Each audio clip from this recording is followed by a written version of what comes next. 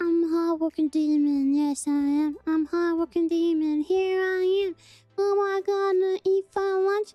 I don't know, maybe some brunch. Broccoli is not an option, but salmon is always a go.